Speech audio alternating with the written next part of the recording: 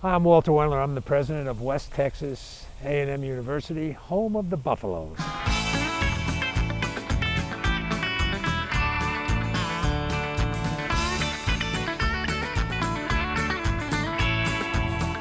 We are one of two universities in the United States that have a live buffalo mascot and the tradition of our mascot and the traditions of our campus are important to our students, to our faculty and staff, and to the people who live in the Texas Panhandle.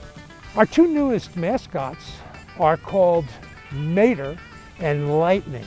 We were donated two buffalo calves that were just a few days old. Currently, we have been bottle feeding these calves. They're a herd animal, so they don't like to be alone and they, they feel more comfortable when they're with something of their own species. So we have two, and that way they could uh, bond with each other. They get worked every day and get um, taken on walks and just working on halter breaking them and getting them ready for their public appearances this fall. So even though they appear small now, they still have a lot of strength. These guys get fed twice, two times daily, uh, once in the morning, once in the evening.